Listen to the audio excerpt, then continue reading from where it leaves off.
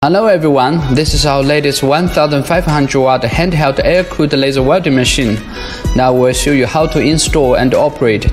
Here are the accessories we receive with the welding machine, power cord, gun holster, safety clip, copper nozzle, U-disc, wire feed cable.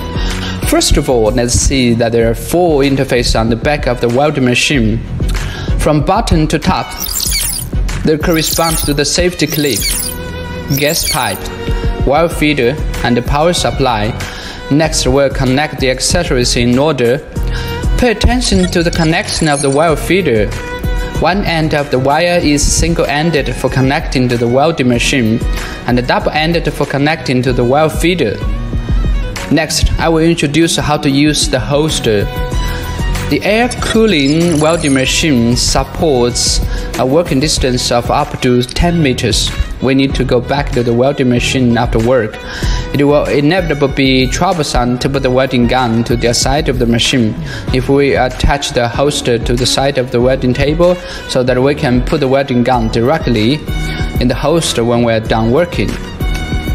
Now let's connect the power supply and connect the power supply correctly according to the logo on the power cord.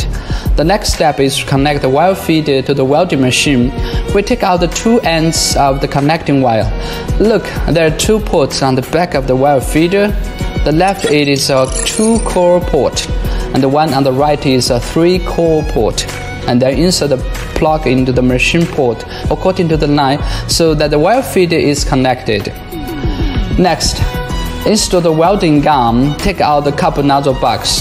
There are different types of nozzles such as out collar nozzle, inner collar nozzle, well fitting nozzle, etc., which can meet the various welding needs of users. Take out the well fitting nozzle will lead. If you don't know how to apply various types of nozzles or how to choose a good nozzle, Please pay attention to our previous content. I believe it will be helpful to you. The first step is to insert the scale tube into the gun mouth. Lock it. Take out the copper well fitting nozzle and install it on the front end of the scale tube and then install the well fitting guide.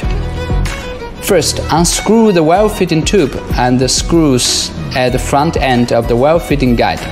Insert the well guide tube into the welding gun guide tube fixing bracket and then install the screw and the well feed tube to the front end of the well feeding guide in turn and tighten them.